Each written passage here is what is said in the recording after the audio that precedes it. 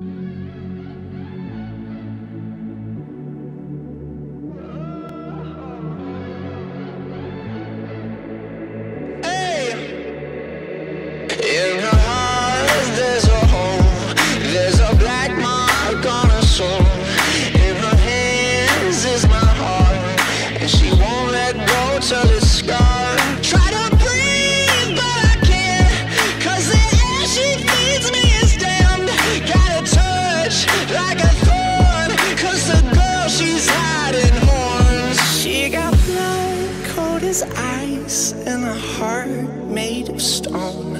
But she keeps me alive. She's the beast in my bones.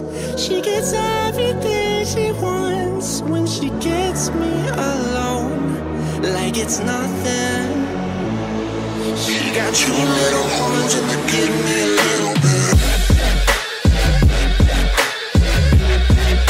Fight with us together on replaysucht.de.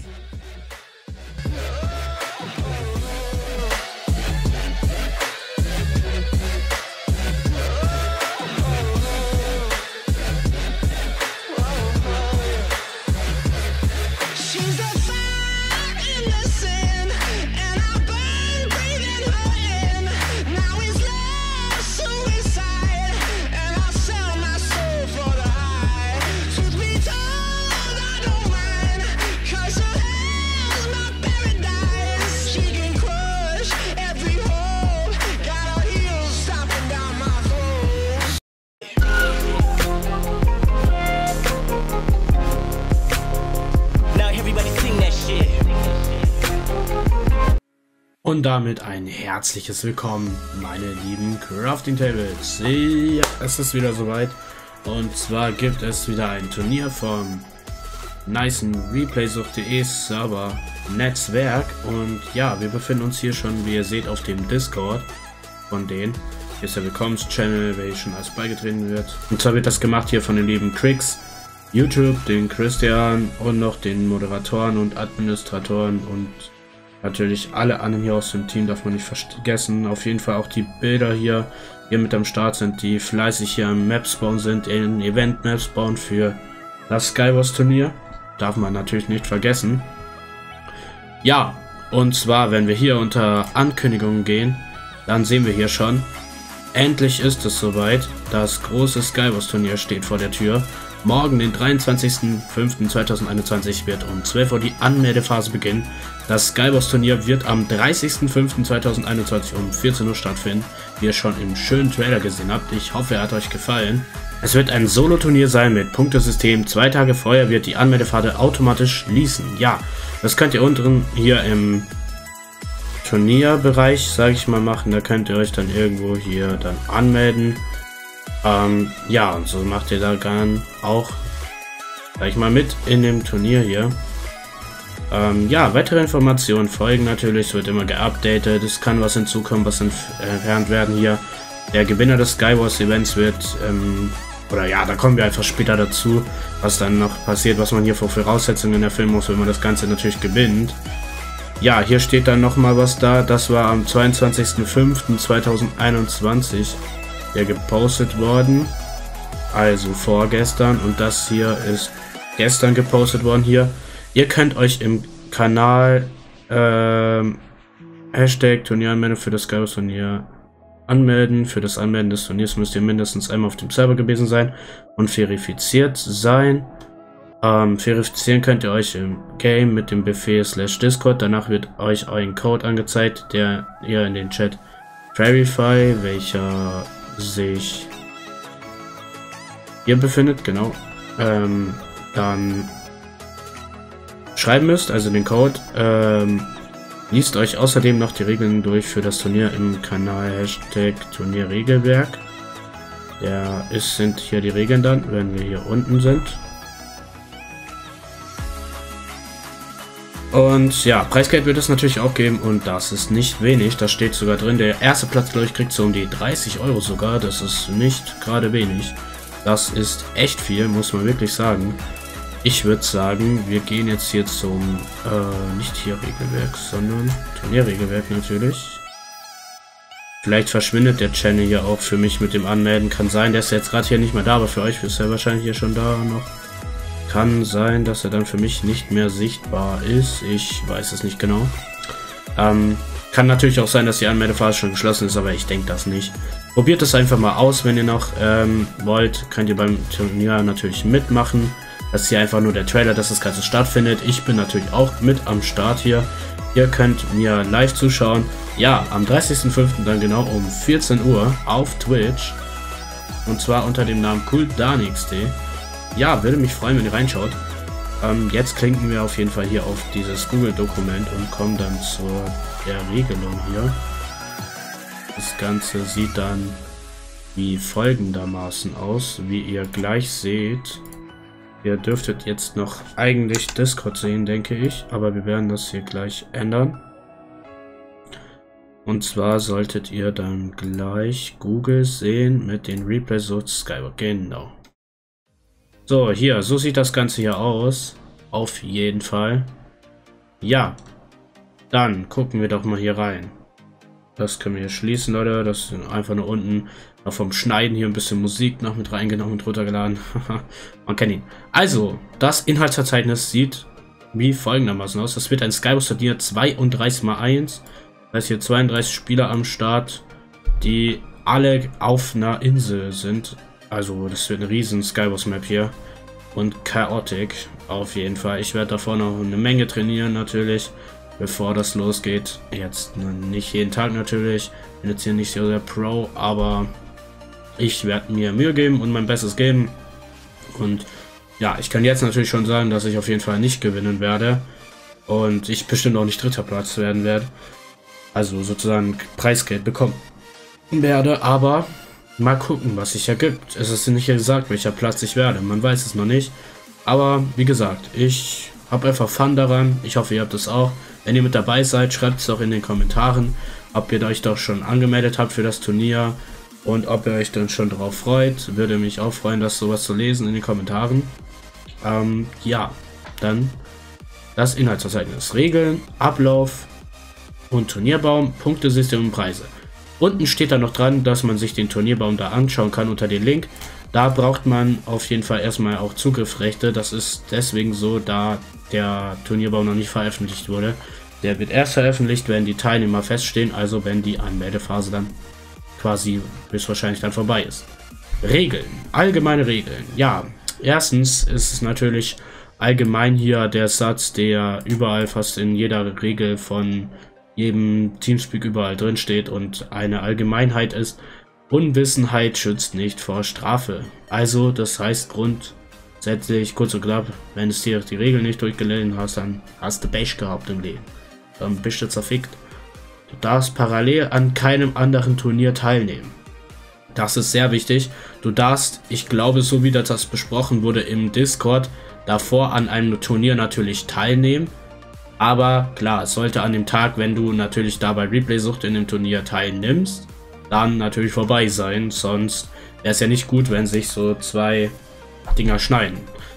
Ja, Verspätungen sind zu vermeiden natürlich. Jeder hasst Verspätungen. Ich bin auch mal früher zu spät gekommen, so in der Schule natürlich. Man kennt ihn. Und jetzt heutzutage auch manchmal in der Arbeit so ein oder zwei Minuten, aber sind eigentlich okay. Aber ja, ihr dürft euch höchstens fünf Minuten verspäten. Das würde ich so sag ich mal, wäre ich ein Chef irgendwo in einem Betrieb oder irgendwo anders auch so gelten lassen oder jetzt auch in dem Fall in einem Turnier. Aber ähm, auch wenn ich auf Freude warte, ihr müsst wissen, Pünktlichkeit ist bei mir das A und O. Wenn irgendein Kumpel bei mir fünf Minuten zu spät kommt, ist Maximum, was bei da zu spät sein kommen, ich noch dulden kann, aber länger, so 10 Minuten, 15, da muss schon ein Grund geben oder der der, der Typ muss, äh, mein Kumpel muss sich da, da schon anrufen oder so, dass ähm, mir sagen, warum er nicht kommen kann, dass ich das auch verstehen kann. Aber wenn er dann einfach nichts anruft, nicht anruft oder nichts sagt und einfach so kommt und so, ja, hi, was geht, dann denke ich mir auch nur so, ey, Bruder, du bist 15 Minuten zu spät. Wir haben um 15 Uhr ausgemacht, dann treffen wir uns auch um 15 Uhr. Beim Verstoß gegen die Turnierregeln werden Strafen vom Bleedplay-Sucht-Team ausgesprochen. Siehe mögliche Strafen. Ja, also da werden die dann dementsprechend vorgehen. Ähm, ich weiß nicht wie, siehe mögliche Strafen, wahrscheinlich, äh, ja, das, was sie sich dann so ausdenken lassen. Vielleicht steht unten noch die Strafen da. Ich weiß noch nicht, ich habe es mir einmal durchgelesen, aber vielleicht habe ich da was übersehen mit den Strafen oder siehe mögliche Strafen ähm, sind wahrscheinlich ähm, das, was dann da, sag ich mal, dann so vorkommt im Turnier, man, wie sie halt da vorgehen werden. Höchstwahrscheinlich ein Bann. Teilnehmer müssen sich an die offiziellen Replaysucht.de Regeln halten, das ist natürlich klar. Runden werden grundsätzlich nicht wiederholt, also es gibt nur eine Runde und klar, es wäre ein bisschen unfair gegenüber den anderen, auch wenn man die Runde nochmal machen muss und so und äh, ziemlich unangenehm für die anderen und allgemein auch für diejenigen, die sie wiederholen müssen. Es hat gelaggt, der Client-Dings hat gesponnen, keine Ahnung, es war nicht fair oder keine Ahnung, Maus ging nicht. Also checkt euer Setup am besten nochmal aus, bevor ihr da teilnehmt, dass auch wirklich alles funktioniert. Dass die Maus geht hier, dass die Tastatur geht, dass hier wirklich alles funktioniert, euer Headset hier, dass ihr auch mal was hört hier, euren Ingame-Sound. also checkt mal am besten noch alles ab, bevor ihr da wirklich mitmacht, sonst wäre das natürlich ziemlich kacke. Ja, Runden werden, äh, achso. Einfach mal wieder denselben Satz hier vorgelesen, Leute, man kennt ihn. Also Ausnahmen möglich, das heißt, wenn es jetzt wirklich der Server war, vielleicht der jetzt geleckt hat und wirklich alle geleckt haben oder irgendwie was passiert ist, keine Ahnung. Plugin hat einen kurzen Fehler, Plugin ist abgeschmiert, Ding ist abgeschmiert, sollte jetzt natürlich nicht passieren, aber angenommen, keine Ahnung, irgendwas passiert hier, Server hat geleckt, irgendwo gibt es einen Fehler, irgendwas ist los, was auch immer dann wird die Runde natürlich wiederholt. Ja, und zum Schluss, der Gewinner muss sich screensharen lassen. Das ist so eine Sache, was ich mit euch ansprechen wollte. Screensharen. Ja, warum screensharen? Ist ja klar, weil der Gewinner ähm, hätte jetzt natürlich nicht hacken äh, können, zum Beispiel am Ende oder so. Also er hat nicht gehackt. Er sagt, er hackt nicht. Er hat einen Client drin. Das ist natürlich schon mal ein Beweis, dass er nicht hackt. Aber man kann etwas natürlich auch äh, injecten mit bestimmten Clients. Mit jedem Client eigentlich so ziemlich.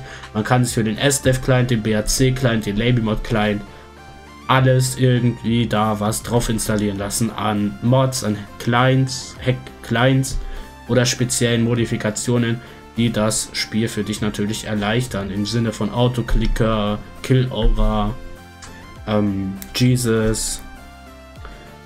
Äh, ja, und das ist natürlich nicht erlaubt. Deswegen muss sich der Gewinner da screensharen lassen. Das bedeutet, dass der, der Gewinner, ähm, ja, also so wie so Anydesk ungefähr, zum Beispiel so eine Bildübertragung, so eine Bild-zu-Bild-Übertragung machen muss, dann schauen sie nur in den Ordner rein. Die schauen jetzt nicht überall in euren ganzen PC rein und durchsuchen hier wie die FBI oder Polizei hier euren ganzen PC, also ihr braucht keine Sorge haben. Ähm, die gucken nur in die Ordner rein, wo er auch sagt, so, ja, gut, kannst du reingucken, guck ruhig rein. Und das werden höchstwahrscheinlich auch nur die Minecraft-Server sein. Äh, Minecraft-Server, ich meine die Minecraft-Ordner. Entschuldigung. Ähm, die Minecraft-Ordner natürlich, ähm, höchstwahrscheinlich die Ordner, wo der Client dann drin ist oder was auch immer, der ihr gerade da benutzt habt. Aber es ist, ähm, wie unten dann jetzt noch gleich steht, wo wir dann weiterkommen bei den Spielregeln, Pflicht, einen Client zu benutzen. Also gucken Sie nur in eurem Minecraft-Ordner, dann SDEV Client, BRC Client, Labelbot, was auch immer, Lunar Client, äh, je nachdem welchen Client ihr da benutzt. Das sind ja die bekanntesten Clients. Natürlich könnt ihr auch mit einem komplett unbekannten Minecraft Client, den jetzt nur wenige kennen, auch spielen. Klar, es ist jetzt nicht von Vorteil, weil da werden sie sich euch wahrscheinlich auf jeden Fall screenshotten lassen.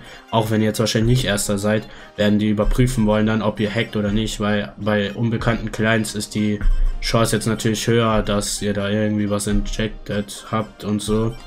Also spielt am besten mit Badline Client, Luna Client oder SDEV Client. Ja, wie hier schon steht, Client Pflicht. Dann gucken die in eure Ordner rein und wenn alles passt, dann, ja, dann kriegt ihr den niceen Preis von 30 Euro ähm, PaySafe-Karte, glaube ich. Ja, ich bin mir nicht sicher. Ich denke, die werden das über PaySafe machen. Ich weiß es nicht genau, aber die meiste Zahlungsmethode, die hier benutzt wird, auch bei Turnieren. Ähm, ja, Main-Account-Pflicht. Ihr dürft an den Turnieren nur mit eurem Main-Account teilnehmen. Ähm, ja, ist meiner Meinung nach mir egal, weil ich habe eigentlich nur einen Account und das ist mein Main-Account. Ähm, Wenn es jetzt jemanden stört, dann, mein Gott, kommt einfach mit eurem Main-Account online und ihr löst das Problem. Diskutiert da einfach nicht unnötig rum, finde ich. Was gibt es da auch zu diskutieren? Kommt einfach mit dem Main-Account online und die Sache hat sich geregelt. Ähm, ja, ich meine, ich kann es verstehen für die Leute, die sich so denken, äh, warum kann ich nicht mit dem anderen Account online, aber Leute, wer spielt nicht eigentlich hauptsächlich mit seinem Main-Account? Also bitte. Sein zweiter Account benutzt man eh nur für Hacken oder irgendwas anderes. Also er hat schon nicht sein zweiter Account mal zum Hacken benutzt. Ich habe früher auch mal gehackt, gebe ich zu, mit einem zweiten Account mal irgendwo auf mein so, auf Gomme sogar, aber ja, da habe ich aufgehört, bevor ich innen noch ein Band kassiert habe, weil sonst ist man ganz schnell weg vom Fenster. Ich gebe es zu, ich habe auch mal gehackt, klar. Aber das mache ich jetzt schon seit ungefähr zwei oder drei Jahren nicht mehr. Also daher, ja. Ähm, komme ich so langsam wieder ins Legit rein. Chatverhalten. Die Nutzung des Chats ist während des Turniers untersagt. Also, klar, ihr könnt am Anfang so GG, Good Luck, fun, was hier unten noch jetzt aufgelistet ist, so schreiben und sowas. Ähm, ja, aber ihr solltet am besten lieber nichts reinschreiben. Aber im Spec-Chat ist die Regelung ausgenommen. Da könnt ihr ruhig mit den Spectatern so schreiben, so, ah, Mist, der und der hat mich voll richtig gekillt hier. Der hat mich, ähm, der hat sich noch mit der Enderperle gesaved und dann hat er noch mit dem Stick und bla bla bla bla bla. Und ja, ihr kennt das. Ihr, ihr quatscht einfach über die Runde. Unerlaubte Client-Modifikation. Unerlaubte Client-Modifikation, zum Beispiel Speed, Autoclicker, Makros sind verboten. Ähm, ja, Makros könnt ihr euch nicht nur mit einem Hack-Client setzen, natürlich auch so hier mit der Tastatur. Die neuesten RGB-Tastaturen, sag ich mal, auf dem Markt können das und wäre natürlich jetzt hier nicht angebracht, diese zu benutzen. Also, ja. Wenn ihr Makros denn habt, benutzt ihr einfach gar nicht oder tut sie bei euch in eurem Interface hier von der Tastatur ausstellen. Ihr könnt die ganzen Makros ausmachen.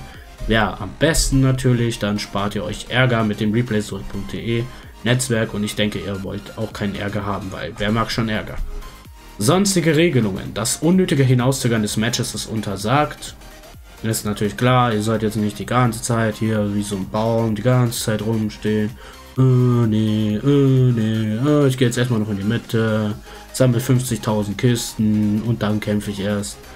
Aber ich hoffe, es wird so geregelt sein, dass die Border hier so immer enger und enger und enger wird, bis man irgendwann dazu gezwungen ist, zu kämpfen. Aber ich denke, das wird schon so sein. Ich hoffe mal, dass sie es so gemacht haben. Wenn nicht, dann wäre es ein bisschen blöd natürlich. Aber ich hoffe, es gibt da so eine Border, die irgendwann kleiner wird. Aber ich denke, wir werden das schon so geregelt haben, dass das auf jeden Fall ein ja, gutes und faires Turnier wird. Auf jeden Fall für alle. Das Decken ist nur zu taktischen Gründen erlaubt. Also ihr seid jetzt nicht gleich hier bei eurer Insel, nehmt ihr so einen Block und geht immer weiter höher, höher, höher bis ins Unermessliche rauf. Ihr wollt hier keinen auf gommehd.net Spieler machen, oder? Also bis zur Unendlichkeit hochbauen. Also ja, lasst das lieber. Waterfights sind nur in Notfällen erlaubt, ähm, wie zum Beispiel, ja, wenn, wenn jetzt euch jemand hier so zum Beispiel runterkriegt, ihr saved euch mit einem Wassereimer, baut, versucht euch halt wieder hochzubauen, wie man es macht, zum Beispiel, denke ich. Und ja, wenn einer noch runterspringt da, äh, um euch runterzukicken und sich dann über dem Wasser zu safen, denke ich, dürft ihr einen Waterfighter veranstalten. Aber jetzt nicht einfach so hier so oben auf dem Baum platzieren, runter und dann im Wasser so kämpfen. Also ihr solltet jetzt nicht immer einen Waterfight natürlich machen. Jeder Spieler hat das Recht, respektvoll, höflich und mit Fairplay behandelt zu werden. Deshalb ist es erwünscht, vor den Matches Good luck, have fun, good luck, have fun oder ähnliches in der Art zu schreiben. Am Ende einer Runde ist es ebenfalls erwünscht, wenn man Begriffe wie good game, good game, well played, äh, good games ähm, als höfliche Form verwendet werden. Ablauf und Turnierbaum. Der Turnierbaum und der Ablauf sind unter dem folgenden Link zu finden. Ja, wenn wir jetzt hier draufklicken, kommen wir auf Google Sheets. Äh, oh, der ist hier schon vorhanden, oder? Der ist hier schon vorhanden, Leute. Okay, dann gucken wir mal die ganzen Spieler an. Gott, Akarume, wo ist das? Mhm, mhm. Ich bin hier. Ja, Leute. Oha. Ich will mal gern durchziehen, wie viele das sind. Also ab hier 8. 8 bis 7, 72. Okay, Leute, wir haben es. Ich habe es durchgezählt hier. Schnell. Es sind 65 Leute derzeit, die sich hier angemeldet haben. Vorhin, wo ich die Discord-Nachricht gelesen habe, waren es noch 50, Alter. Uff, das ist das ist krank. Also wir können den Turnierbaum anscheinend doch noch an, schauen hier. Die Gruppenphase startet am 30.05. um 14 Uhr. In der Qualifikationsphase sowie in der Zwischenschale werden drei Runden gespielt, in denen man Punkte sammeln kann. Die 16 besten Spieler kommen in die nächste Phase. Ja. Hier seht ihr noch das Punktesystem. Ein Win, ein kompletter Win der Runde bringt euch 6 Punkte ein und ein einziger Kill bringt euch 2 Punkte ein. Ja, hier die Preise, wie ich euch gesagt habe natürlich. Der erste Platz kriegt ihr ein saftige 30 Euro. Der zweite Platz kriegt 20 Euro. Der dritte Platz 10 Euro. Der vierte Jahr ähm, ein Jahr Suchter. Und der fünfte, ähm, also finde ich cool, dass es nicht nur so die Top 3 sind, sondern dass es bis zu den Top 5 runtergeht. Einmal SDEF Client Cosmetic muss ein SDEF Client User sein oder von einem anderen Client. Ja, wenn es kein SDEF Client User ist, dann kriegt ihr äh, höchstwahrscheinlich, ich weiß nicht, dann, ob ihr dann BRC Kosmetik bekommt. Ähm, aber die sind halt verpartnert, also sie sind Partner mit dem ähm, SDF Client. Deswegen stellen die diesen Win zur Verfügung. Die Admins höchstwahrscheinlich von SDF haben so gesagt, ja, ey, komm, wisst ihr was, wir hauen hier noch ein Kosmetik raus, tut das auch noch als Preis mit rein. PS, die Preise können sich noch erhöhen. Also es kann sein, dass die Preise sogar noch hochgesenkt werden und der Gewinner sogar 40, der zweite Platz 30 und der dritte Platz dann 20 gewinnen kann. Und vielleicht seit ein Jahr, statt ein Jahr Suchter, zwei Jahre Suchter oder drei Jahre Suchter oder ein Jahr Suchter plus noch ein paar Coins oder sowas. Kann ja auch sein. Also, ja. Das dann, wie gesagt, die Regeln, die könnt ihr auch noch selber unter Ankündigungen-Kanal dann auf dem Discord einsehen, wenn ihr euch denn hier ähm, auf jeden Fall angemeldet habt. Natürlich, ähm, ihr müsst ähm, auf dem Discord-Server, äh, um euch da verifizieren zu können, dann auf den Minecraft-Server gehen, slash Discord eingeben, also slash DC. Und ähm, ja, ich hoffe, ich habe euch alles so gut wie möglich erklärt. Ich denke, das sollte es gewesen sein. Das tut mir auch leid an der Stelle, dass es so lange gedauert hat. Ich hätte mir nicht vorgestellt, dass es so lange natürlich dauert hier zum Durchgehen der Regeln. Aber klar, lieber dauert es, sage ich mal, ein wenig länger, aber konnte euch gut verständlich alle Regeln hier erklären. Unser Texture Pack ist natürlich nicht drin. Es ist bei jedem Start vom Badline Client nicht drin. Ich verstehe nicht, warum. Vielleicht muss ich irgendwie hier noch einen Haken setzen, dass alle Resource-Pakete da gespeichert werden, die ich ausgewählt habe. Aber ja. Ich würde sagen, ich spiele privat noch ein wenig Bild FFA auf dem schönen replaysucht.de Netzwerk. Hier könnt ihr euch mal ein kleines Überblick über Bild FFA verschaffen. Wenn ihr denn noch nie auf dem Server gespielt habt, aber hier großes Interesse zeigt, jetzt auch, auch spezifisch wegen dem Turnier. Den haben wir hier erstmal von hinten weggeklatscht, ganz überraschend. Und sind selber noch runtergefallen, das war das Karma hier. Aber ich würde sagen, Leute, haut rein, Leute. Lasst ein Like und ein Abo da, wenn ihr es noch nicht gemacht habt. Und bis zum nächsten Mal. Ciao, ciao.